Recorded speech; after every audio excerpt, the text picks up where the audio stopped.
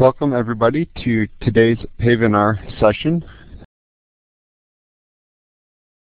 The topic will be Introduction to PCC Mixed Design.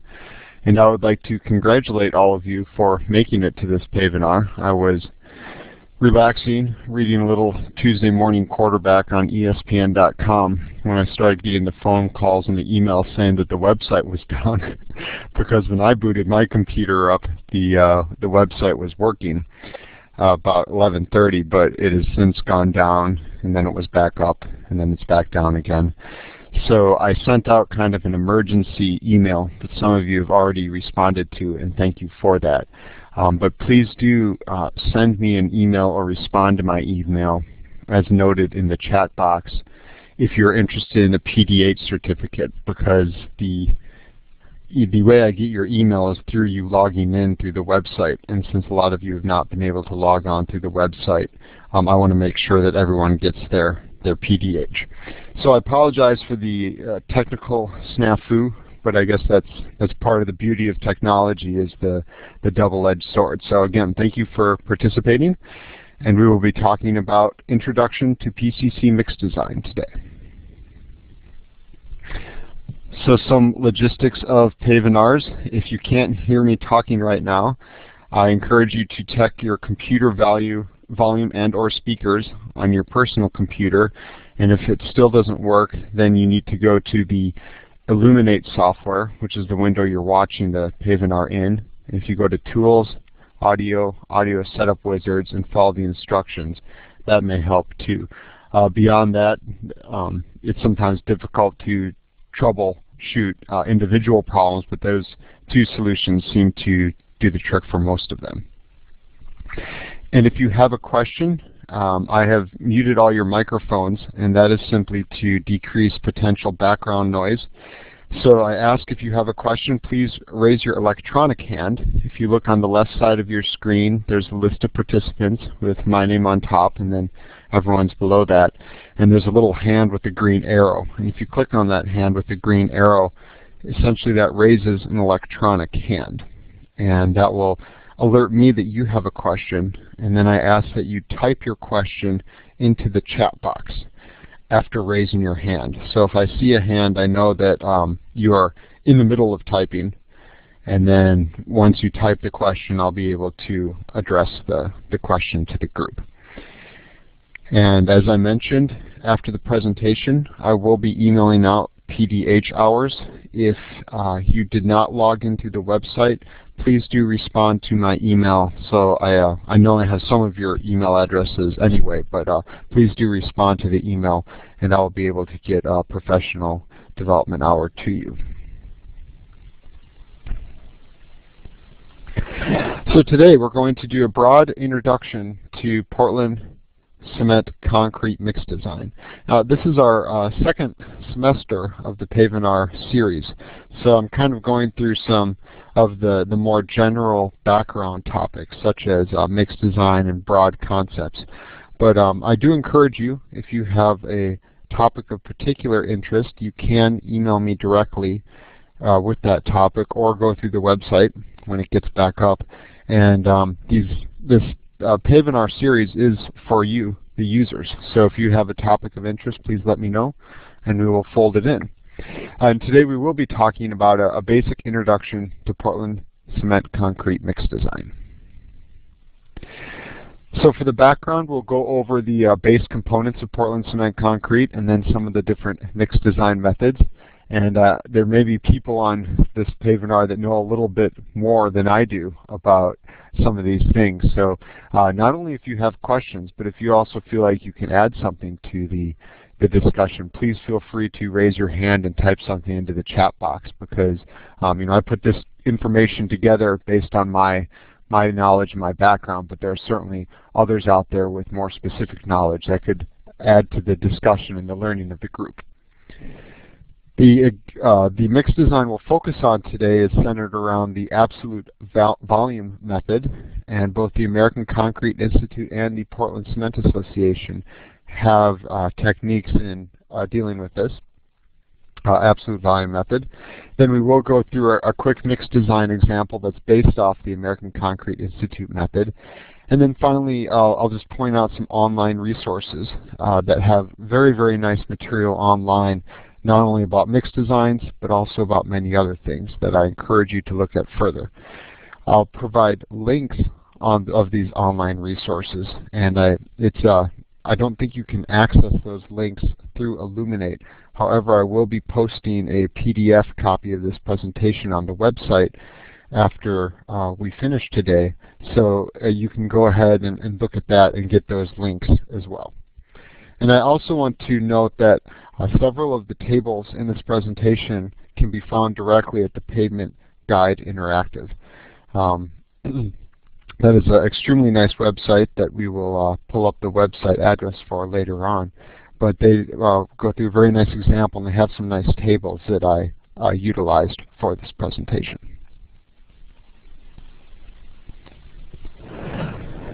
So what are the components of Portland cement concrete? Well, first of all, you do have your aggregate, and that takes up the uh, majority of the Portland cement concrete structure. Also, critical to Portland cement concrete is your water and some sort of cementitious materials. So the uh, water and the cementitious materials react together, and that forms the uh, strong strength that uh, concrete is known for. Uh, in addition, and a potential future topic, could be all on simply admixtures and fibers, either together or separately. There are uh, an incredible amount of there's an incredible amount of information out there about both admixtures and fibers. And what we'll be going over today is really kind of Portland cement concrete basic. So just the very bare minimums, but there are uh, extremely large number of admixtures and fibers out there that can really enhance your mix. So that's a potential topic for the future. Uh, as I said, aggregates do take up the majority of the Portland cement concrete, uh, about 60 to 75 percent of the volume and about 70 to 85 percent by mass. And those numbers vary based on your mix design and your local materials, uh, what you're looking for, those type of things. And the important characteristics for the aggregate is you want a high resistance to abrasion and degradation. You also want them to be resistant to the effect of freeze-thaw, especially when we're looking at pavements. Obviously, pavements are sitting outside, and um, you know, at, at night when it gets cold, they will go through some freeze-thaw cycles, and you want to make sure your aggregates are resistant to doing that. Other important characteristics uh, include the alkali reactivity. That's a, a, significant problem. In fact, here just south of Fayetteville on 540, there's some alkali reactivity issues going on. And um, one of our, our professors in, who works with concrete and structures, he's going to be doing a project with the highway department trying to really figure out what's going on with that aggregate and how can we um, find some solutions for that. Other important characteristics include particle shape, surface texture. These are uh, both important when you're uh, mixing the concrete, the workability of the concrete, and placing it. You want to make sure that the particle shape is not resisting good placement and um, you're not getting a whole lot of air bubbles. Well, you don't want trapped air in your Portland cement concrete. Uh, so those are two important characteristics. The grading is also known as the gradation or the size of the aggregates. There's uh, several different gradation bands that you can use depending on what kind of characteristics you're looking for. The density of the aggregate is important. The uncompacted void content has to do with how aggregates stack on themselves. Uh, so the, that's just a, a, quantification of the macro texture or the particle shape of the uh, aggregate is the uncompacted void content. And then of course the absorption is critical since we're using water here in the Portland cement concrete. You want to make sure that your aggregate, um, well you understand the absorption characteristics of the aggregate. If it absorbs a lot of water, that means that you will need to add a little bit more water into your mix design, whereas if it doesn't absorb much water, then uh, you don't want to add too much. And then finally, of course, the strength. The uh, Portland cement concrete, you want to have this strong aggregate because that does carry some of the load along with the uh, cement or the cementitious materials around the aggregate. But you want to make sure that you don't have pockets of weakness with those weak aggregates. So that's just a, a real broad overview of aggregate characteristics of the asphalt. or of the uh, Portland cement concrete, excuse me. Um, also important is the water, as mentioned. The water and the aggregates are really very critical. And according to the uh, uh, Portland Cement Association, any potable water can be used uh, to make concrete. So if it's potable, that implies that it is treated. So um, you can use any sort of potable water in order to use your concrete, in order to make your concrete. You do uh, need to pay special attention to a couple of things, so your chloride levels, your sulfate levels, alkalis, and salts. These are characteristics of the water that can either inhibit the strength gain in the cement gel and then the cement matrix, or it can also cause um, you know other sorts of problems. So as you're evaluating your water source, any potable water can be used, but you do want to make sure that uh, those levels are adequate. And you can use salt water for those of you living on the coast, but you want extremely low levels of salt, and there can be no steel in the structure being constructed. So you can use salt water with CRCP or um, any pavement with the metal dowel bars. So that is an important consideration.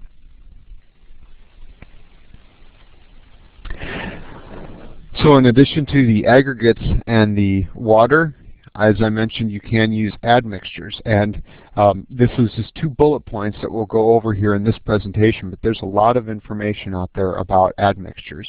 Uh, you have uh, accelerators and retarders. The accelerators make the concrete set more quickly. It builds that strength faster.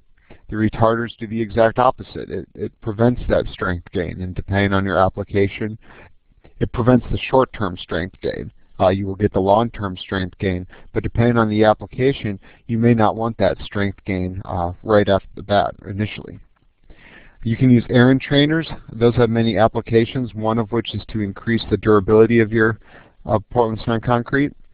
You can use water-reducing admixtures. So if uh, there's a need to either uh, lower the water content or something along those lines, you can have admixtures that, that do that.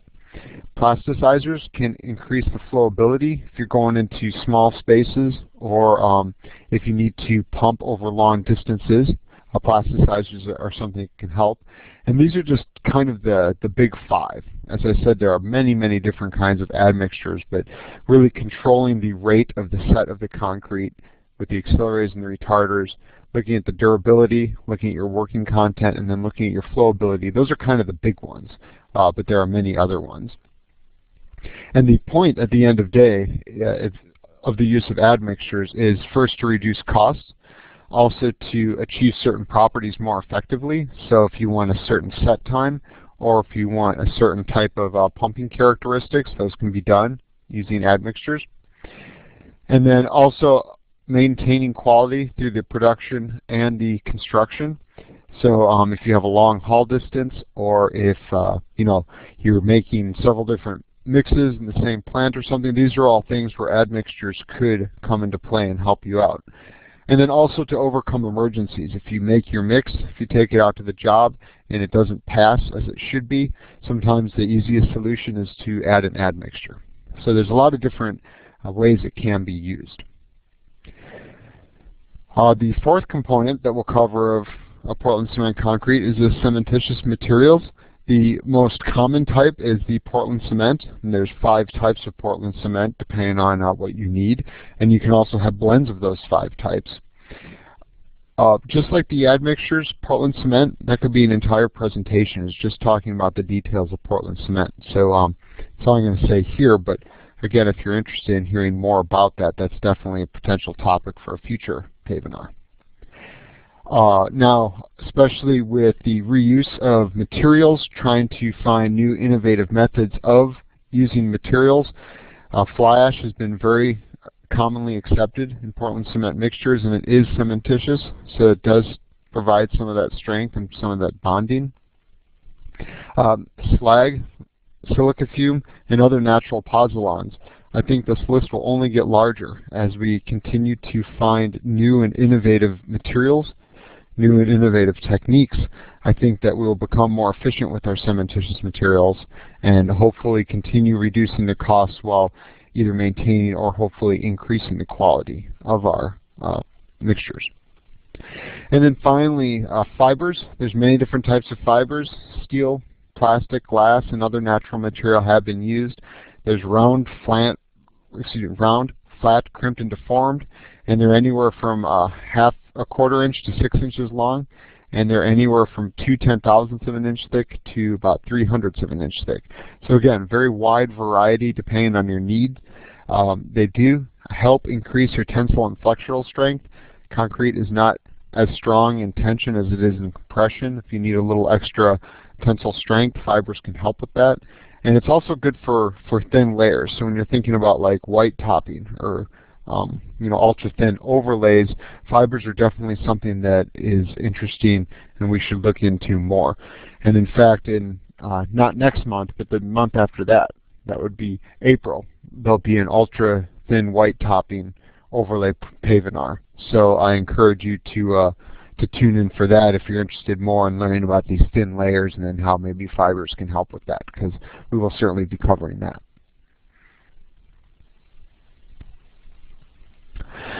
So we went over the, the basic material properties that, that we're interested in, but when you take a step back and you think about, well, what are the characteristics of a mixed design? Really, what we're doing is we're trying to identify your fresh concrete properties.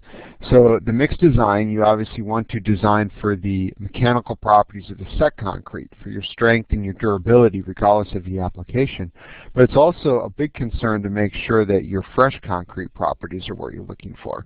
Going back again to the haul distance or the pumping distance um, on site, um, or if you're going through a slip form paver, you know, these are different things that you need to take into account for. And the utilizing things in the mixed design can kind of help along those lines. Um, finally, also you can have the inclusion, exclusion, or your limits on ingredients. And the ingredients of those five uh, materials we just went over, the aggregates, the water, the cementitious material, admixtures, and then the fibers. Maybe there's uh, specifications that say you can or cannot have one of those. Maybe there are uh, specifications about the limits of some of those. So these are all important things to think about when you're uh, looking at your mix design. And at the end of the day, a properly proportioned concrete mix should provide acceptable workability of the fresh mixed concrete, again for the hauling and the pumping, uh, the long-term strength or long-term characteristics you're looking for is durability, strength, and uniform appearance. It's uh, it's amazing how much aesthetics do count, but if something doesn't look good, people, no matter how strong it is, no matter how well uh, built it is, if it doesn't look good, that really does uh, not give off a good image of the quality of the material, regardless of its functionality. And then finally also economy, especially um, now with material costs going up. This is something that we all need to be on the lookout for, is seeing, well, where can we potentially utilize new or different resources, new or different technologies in order to get a better economy out of your mix.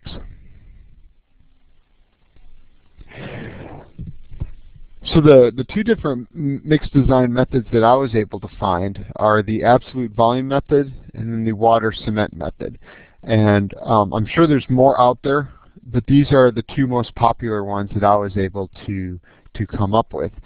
And the absolute volume method, we have uh, techniques from both the Portland Cement, Portland Cement Association and also the American Concrete Institute. You can find that under ACI 20 or 211.1 is the absolute volume mixed design method for the, the concrete. Whereas the uh, water cement method um, is just offered by the Portland Cement Association. Now what are the differences between these two methods? The principle behind the absolute volume method is designing around uh, either one cubic yard, one cubic foot, one cubic meter. The uh, units do not matter, but at the end of the day, the total volume of your mix is what matters. And you'll see as we go through an example later on, um, one of the components is found by literally subtracting all the other materials from one. And you're able to do that through the fact that you're starting with either one cubic yard, one cubic millimeter, or one cubic foot, depending on what you're using. Whereas the water cement method, you actually need to go through some trial batches in order to um, to get the mix design you're looking for. And since the absolute volume method is the most common method in the United States, that is what we're going to focus on for this presentation. So that's kind of a very broad overview of um, you know Portland cement concrete, the characteristics, the whys and the hows of mix design.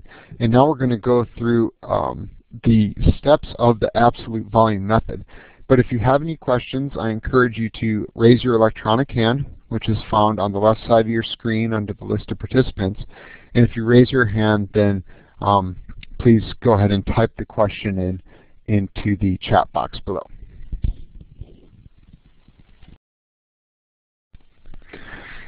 Since there are no questions, we'll continue on. And again, if you do have questions while I'm talking, feel free to raise a hand as well. We don't need to wait. I just wanted to provide time for people to reflect a little bit. So the absolute volume mix design method, the um, what I'm going to go off of is the one cubic yard. If you're on the other side of the pond, you'd probably be going off one cubic meter. Um, at the end of the day, you'll get the same answer. You'll get proportions of each material. But they have eight methods that you go through, and we're going to go through each one of these from the slump to the maximum aggregate size, your water and air content, water cement ratio, cement content, and then your coarse and fine aggregate, and then finally your adjustments for the aggregate moisture. Now at the end of doing this, you are able to perform uh, performance tests in the laboratory to verify strength and durability. So as I was reading through the literature, there I wouldn't say there's discrepancies, but there definitely are uh, different definitions of mixed design. Some are just getting the materials lined up and the quantity of materials. Some are the materials plus the performance tests. So um, there's kind of a couple different ways to look at it. But at the end of the day, we are looking for a high quality performing uh, mix, which you'll need to run some performance tests on at some point. So the first thing we need to do is we need to choose our slump.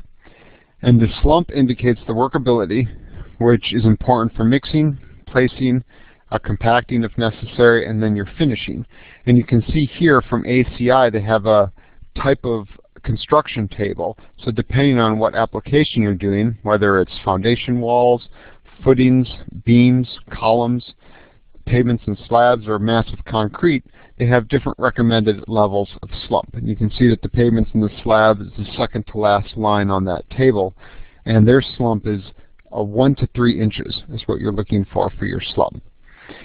Now, kind of honing in more on pavement applications only, the ACPA, which is the American Concrete Pavement Association, has come out with a fixed form versus slip form recommendations. So if you're using a fixed form for your paving application, you use the same slump range, 1 to 3 inches. But with a slip form, you can actually have a slightly lower slump. You can go down to zero inch slump. And that makes sense when you think about it because with the slip form paver, um, you want the, the edges to stand on their own, so a slightly lower slump wouldn't be as much as a much of a problem, just as long as you know you you maintain the the um, high quality that you're looking for in the mixtures. So once you have the slump, you move on to the maximum aggregate size. And there's two things that we need to think about using the maximum aggregate size. The first is that you don't want your aggregates larger than one-third of the slab deck, slab depth. So if you have, for example, a 3-inch slab, then you don't want any aggregates being larger than 1 inch. And the reason is, is you don't want aggregates to stack on top of each other. And if your aggregates are so large, you could have the possibility of two literally stacking on top of each other, taking up the entire slab depth or close to the slab depth, and that could um, provide a weak point in your structure. And also if you're doing, say, CRCP, which is this picture here, uh, you want to have three quarters of a minimum clear space between the reinforcing bars. So if you have, you know, for example, two inches uh, in between the reinforcing bars, then you would want to have at least oh, it's never a good idea to try and do uh, math in your head. You would want to have at least uh, an inch and a half of clear space in between that two inches, which means your maximum size would only be a half an inch. So um, that's that's relatively small, but two inch spacing is a little on the small side too. So, but those are the two things you want to look at: the third of an inch of, or third of slab depth, or three quarters minimum clear space between the reinforcing bars. And that's so you're able to make sure that you get the concrete worked all the way around the reinforcement bars, and you're not having the aggregate stack up on the sides, preventing the concrete from being able to go underneath there and provide the the solid structure that you're looking for. And uh, overall, you want to avoid both the difficult consolidation, and that's the um, aggregate stacking, and also um, uh, the compacting, because if you aren't able to consolidate or compact the pavement well, then you could have air pockets. And although you know Portland cement concrete is designed to have small air uh, bubbles in it, air pockets are a significant problem. Here's a, a, very large table with a lot of numbers on it looking at the water and air content. So I'll break this down a little bit. If you look along the top of your table, you have different aggregate sizes going from um, just under a half inch or nine and a half millimeters to four inches or 100 millimeters. That's your um, nominal maximum aggregate size. And if you recall, the nominal maximum aggregate size is the uh, first sieve to retain 10% or more, it's one sieve smaller than that. So it's not your top size, but it's uh, one sieve or two sieves smaller than that top size. And you also have the choice of having either air entrained or non-air entrained mixtures. Uh, air entrainment is a type of admixture, and you can put that in in order to create more air, more smaller air bubbles, and that will allow you to um, have higher workability or longer workability. So based on whether you have air entrained or non-air entrained mixed, and then also what your slump is, then you can figure out how much water you have. And you can see in the middle of the uh, table, there's a number in the middle with a number in parentheses under that. And the number in the middle is in metric, and then the number in parentheses is in English units, and that's either kilograms per meter cubed or pounds per yard cubed of how much water you have. Uh, in addition, for the non-air entrained PCC, they have some levels of, uh, or they have a level of the typical entrapped air. So how much air will be trapped in the mix, and this is something that you plan for. But if you're using air entrained uh, admixtures, you can actually use different admixtures to determine how much air you want in there. So if you look at the very bottom of the table, you can have a mild, moderate, or severe exposure, and that's to the elements, and then they have recommended air contents built into there. And as we go through the example in a couple minutes, you'll see how we need to use those air contents in order to design our mixes. But here, looking at the water and the air content, we're basically looking for a quantity of water and air in our mix that we're looking for.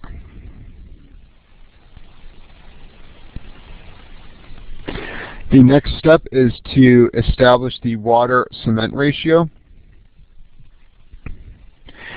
So if there is a relationship between the materials and the compressive strength value, that's really a win-win situation because then you're able to say, well, based on our 28-day compressive strength, what kind of water-cement ratio are we looking at?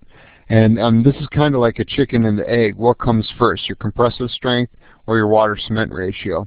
But you'll see that um, as we go through here, this is an iterative process. So, you know, sometimes you do have the compressive strength, sometimes you may not. Or um, sometimes you have a target compressive strength, and then you need to uh, choose your water cement ratio and see if that will get what you anticipate it to be. But you can see as you increase your compressive strength, so the very bottom of this table is the lowest compressive strength, and then each square you're increasing the compressive strength. As you increase the compressive strength, you are decreasing the water-cement ratio.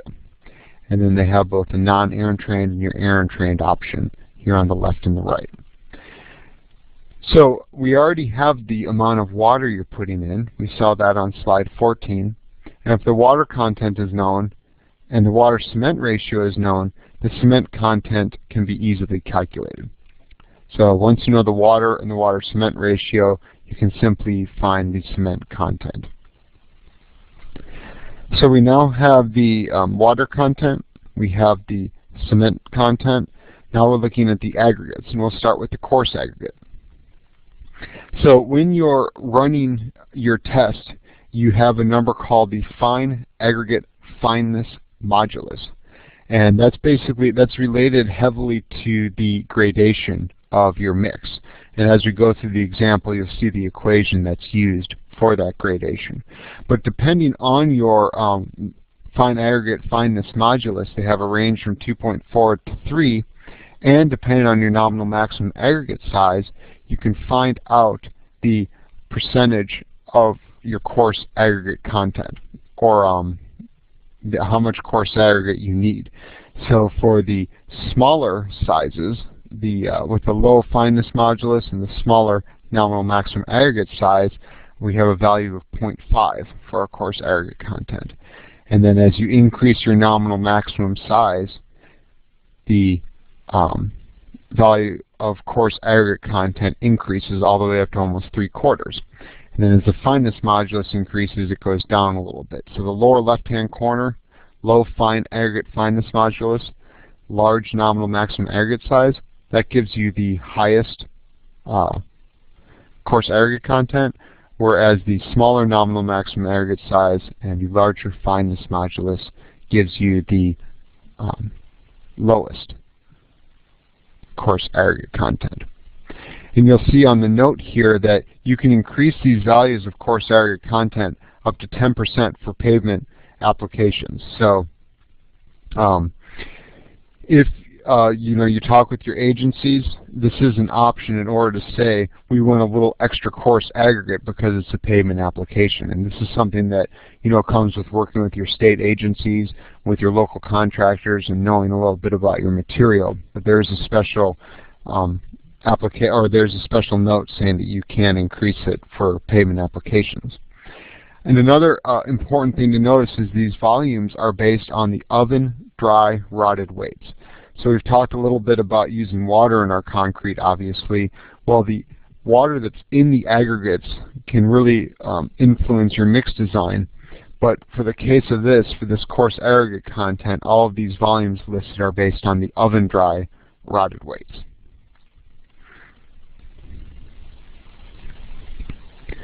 And here is an uh, example of the fineness modulus. The fineness modulus is simply calculated by adding together the cumulative percent retained on standard sieves. So if you get your standard sieve stack, sieve stack for aggregates, and you just simply sum the cumulative percentage retained on each one and then divide it by 100, that gives you the fineness modulus. So, so far we have the um, uh, water content, we have the cement content, we have the coarse aggregate content, we have the air content, and because we know all this and because we're using the absolute volume method, we can simply subtract those volumes from 1, whether you're using 1 cubic meter, 1 cubic yard, 1 cubic foot. If you're basing it all on the absolute volume method, that means that you have a 1. So you take your 1 and you subtract your volume of water, your volume of air, your volume of Portland cement or other cementitious materials, and your volume of coarse aggregate, and that gives you the volume of fine aggregate. Now the last step is to adjust for moisture. Um, like when I work a lot in the laboratory and our stockpiles are relatively small and they're usually in a climate controlled area, which means that they could dry out a little more, especially during these winter months when the heat's on more often. Those aggregates will dry out a little bit. So uh, we actually track our aggregate moisture on a whiteboard. So when people are doing concrete mix designs, you can say, oh, well, this is the current moisture level of the aggregates. Because if an aggregate is bone dry, which is one extreme example, if it's been oven dried, it will certainly absorb some water. And if you don't account for that water absorption, you'll lower your water cement ratio and you'll also reduce your workability. Now on the other end of the spectrum, if you've got a stockpile that's sitting outside, we also have some stockpiles sitting outside, we get a big rainstorm, then your aggregate moisture will go up. And if your aggregate moisture goes up, you will contribute extra water to the paste. So the cement and water as it mixes together, we call that a paste. And this is, and the fine aggregate, we call that the paste. This is something that if the aggregates are too wet, you'll end up increasing your water cement ratio, which will increase your workability, but it will also decrease your strength. So the, the take-home lesson here is that your stockpile moisture content, whether you're in your lab or whether you're in the field, it's essential to know what your stockpile moisture content is when you're doing your mix designs. So once you've uh, estimated all of your proportion, you make a trial batch and you check your slump and strength. And if you don't match, if you don't hit what you're looking for, then this is an iterative process. You'll need to go back, you'll kind of have to reevaluate what was working and what wasn't working and go from there. So this is an iterative process. So we've gone through the background. Uh, we went through the principles of the absolute volume method, and now we're going to go over a quick example for PCC mix design, but if there are any questions, I will take them now. Okay, so for our quick example, now if uh, you can ask any of my students, especially last year in transportation engineering, it was an introductory course, absolutely loved it. But I, I love talking about um, pavements. So um, I'm going to do a quick example for the O'Hare International Airport. I got my PhD up at the University of Illinois, so we actually did quite a bit of work with O'Hare, working with their materials and their mix designs. So we're going to go through an example from uh, one of those mix designs uh, for up at O'Hare. So the first thing we need to do is assemble our knowns. So this is a pavement or slab, so our choice of slump will be 1 to 3 inches and that's the first step. We saw we've seen this table, and uh, as you go through the process, um, you'll be referencing this table depending on whether it's a pavement or a different type of construction. So one to three inch slump. And next we need to figure out our nominal maximum aggregate size. Well, the aggregate uh, supplier up in the Chicago area, the stockpile that we're needing to use has a nominal maximum aggregate size of one and a half inches. So that was determined for us. Now we decided to use air entrainment, and if you look at the table, you can see that we're looking at one and a half inch nominal maximum size, and then you go down to the first level, because our slump is 1 to 2. You could also use 3 to 4, um, but I'm using 1 to 2 because um, that's a little more conservative, but like I mentioned, this is an iterative process. So if you make the sample and your slump isn't what you want it to be, or if your strength is too high, that can be an indication that you probably need a little bit more water. So the 250 you see down there, the 250 pounds per cubic yard of water, that's kind of your starting point. And then your recommended air content as well, you're assuming a moderate exposure, which would use 4.5% air. And we got a question from uh, James. He says that the actual moisture content of the aggregate at the time of mix production is not known at the time of mix production. How is the adjustment made at the time of mix production if it rains on the aggregate stockpiles the night before mix production? Well, I think that is an excellent question, and there are probably some people who work out in the field that would um, be able to answer this more uh, efficiently than I would. So I'm going to give an answer but if someone um, wants to chime in, I would encourage you to uh, to put your answer in the pot as well. Um, so I, I, agree with you. The actual moisture content on the day of production is not known. So if it does rain, say the night before, um, some adjustments will have to be made. And I think that there's um, one thing that immediately crossed my mind is that I know some people have covered aggregate stockpiles, and I realize that that is not um, not possible for all places, and it's also an, an increased cost. But by covering your stockpiles, you are able to neutralize the effect of rain a little bit.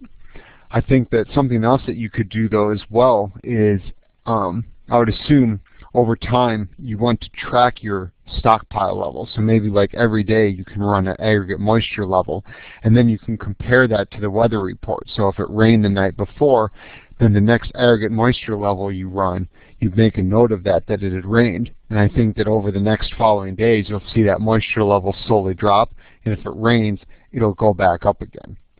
Um, so maybe by tracking that over time, then you can make those kind of on-the-fly adjustments because historically you know your aggregate gains X percent of water after a rain, and then you'll be able to adjust for that. Those are two things off the top of my head that I can think of, but I encourage um, um, other people, if you have either a technique or a way of managing that, I definitely encourage you to raise your hand and then type something in to, to add to the discussion.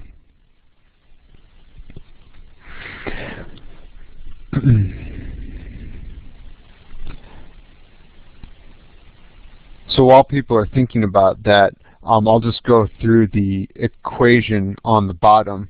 So we're looking at one cubic yard of mix, you simply multiply that by 250 pounds per cubic yard. And you divide that by uh, the unit weight of water, which is 62.4 pounds per cubic yard, and you find out that we need 4 cubic feet of water. And that's 4 cubic feet per cubic yard. Using the absolute volume method, the 1 cubic yard is essential. 1 cubic yard equals 27 cubic feet. So if we only need 4 cubic feet of water, we're starting to um, figure out what all these components are. And then using 4.5% air, you multiply that again by 1 cubic yard, which is 27 cubic feet, and you find out we need 1.2 cubic feet of air. So we have now our water and our air.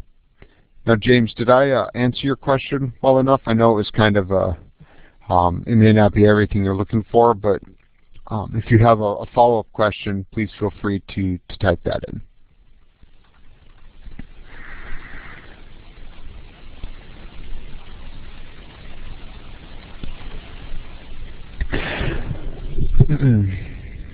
So we have the water content and the air content, and now if we um, know that we're either targeting 4,000 psi or if it's a specification, um, when you're looking at your specifications, if it's targeting a, a, certain compressive strength or historical testing, there's many different ways to figure out that compressive strength.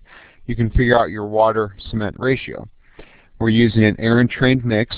We're targeting 4,000 psi, so our water-cement ratio is 0.48. You take the amount of water you have, which is the 250 pounds per cubic yard, you divide that by 0.48, and you can determine how many cubic yards, pounds per cubic yard of cement that you'll use. And you take that 521, you multiply it by 1 cubic yard, and then divide it by the um, unit weight of cement. Uh, cement, Portland cement has a, a specific gravity of around 3.15. I think that's the number I used. 3.15 times 62.4 is 197. So 521 divided by 197, and we have 2.6 cubic feet of cement.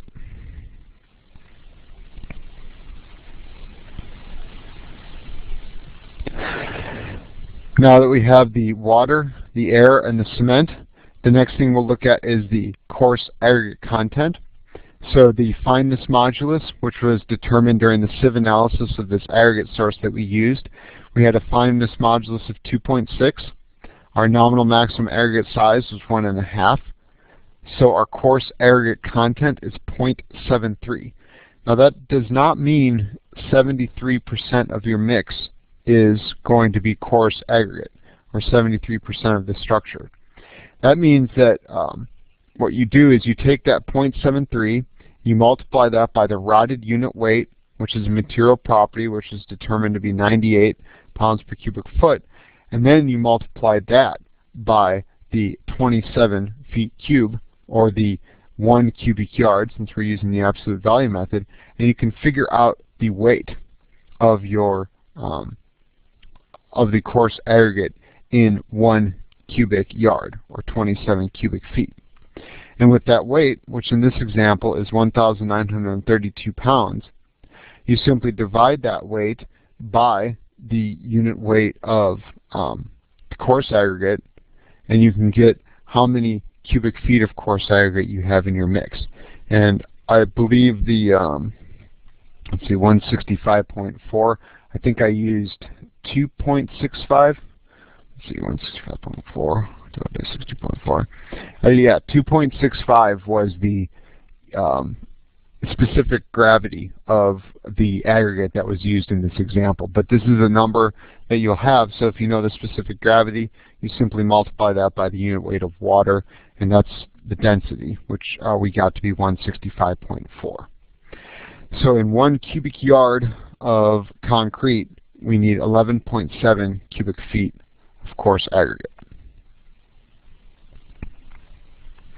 And now in order to find the um, fine aggregate content, you simply take that one cubic foot, or excuse me, one cubic yard, or 27 cubic feet, and you subtract your water, which was 4, and your air, which is 1.2, and your coarse aggregate, which is 11.7, and you have 10.1 cubic feet of fine aggregate.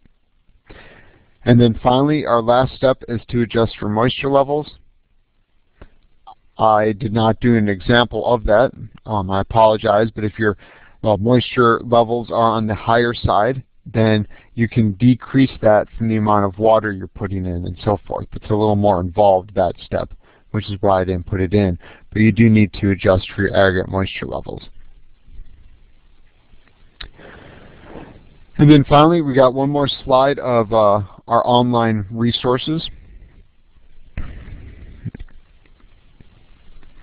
So I encourage you to uh, look at the website for American Concrete Pavement Association, which is ACPA. And um, I'm not able to click on that link right now. But again, if you can either write it down or you can go to um, the PDF file that I'll upload at the end of this presentation later this afternoon, and uh, you can get the link from there. And there's also something called the Concrete Optimization Software Tool. This is something that was put together by the FHWA, the Federal Highway Administration. And it's a software tool that allows you to go through and start playing with some of those numbers. So James, you were talking about um, you know, these on-the-fly kind of estimates you use in order for moisture contents, the concrete optimization software tool is something that could kind of help you if all of a sudden your um, moisture level changes significantly. You can use something like that in order to uh, adjust. And then also, as I mentioned, the uh, pa Pavement Guide Interactive was something put together by the University of Washington. And it, this is just a really, really nice overview of um, the Portland cement concrete in general, and also they have a nice section on the mixed design as well. So if you're um, interested in learning a little bit more about that, you can find it at the training.ce.washington.edu.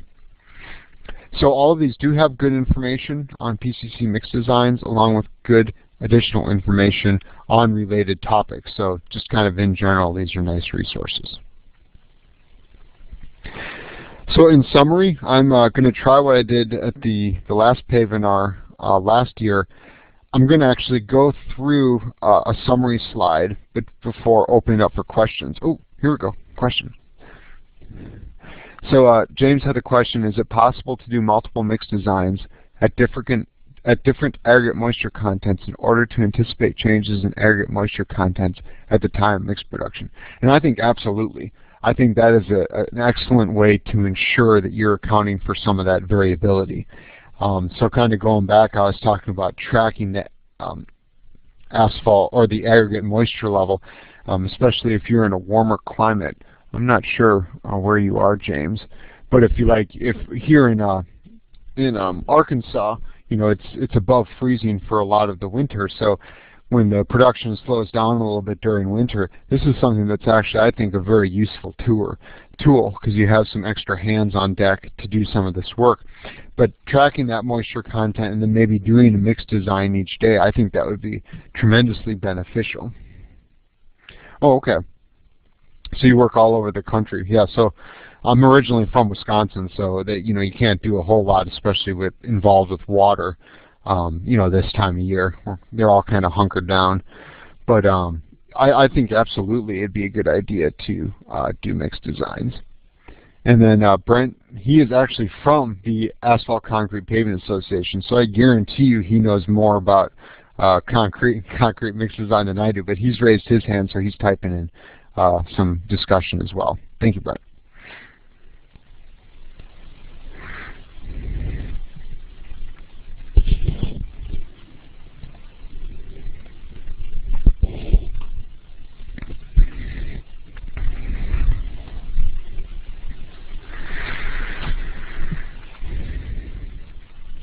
Okay. So Brent's confirming that most producers do moisture content test daily. Um, that's definitely helpful. Thank you, Brent.